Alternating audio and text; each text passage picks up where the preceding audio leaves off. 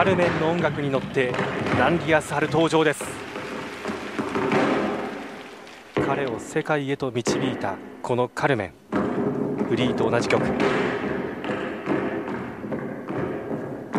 のステップはずいぶんオフの間に練習している姿を見ました。アイスショーの間でも練習してましたからね、はい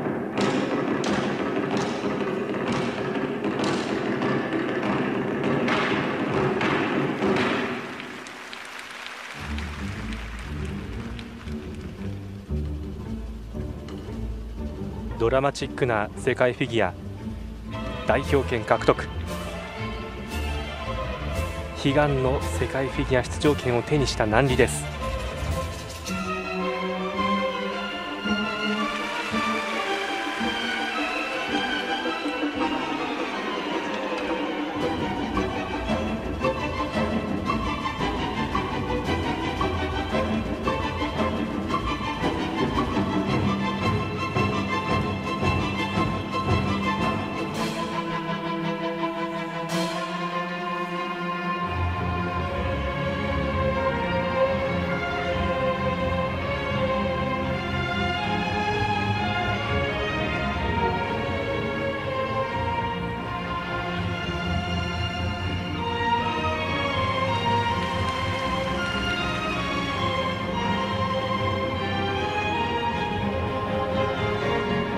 選手一つ一つの動作とスピンに力強さが増しましたよね。あそうですか。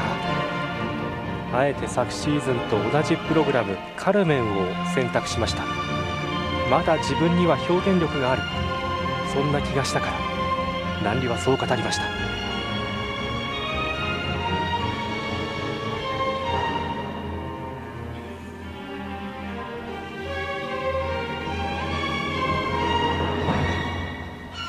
やその表現でも見せられる選手になりました。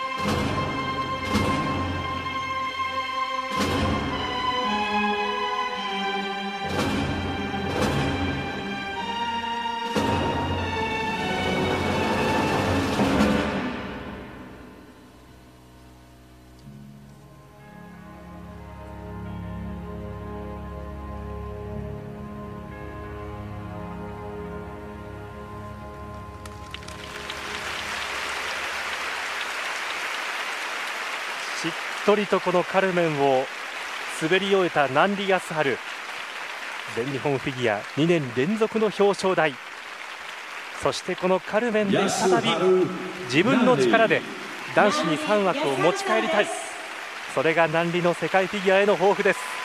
そうですね、まあ、男子は来シーズンに向けても3枠取るというのが使命にもなると思うんですけれども、はい、ナンリ選手はやはり世界にナンリ康晴という名前をアピールして自分のベストの演技をしてきてもらいたいなと思います、えー、やはりこの全日本が終わって昨日の試合が終わって今日のリンクの上での南里選手の表情がまた自信に満ちていて全然違いますね。まだ一つ自信という武器を身につけたでしょうか。日本男子この男子シングル3位のナンビアサールのエキシビションでした。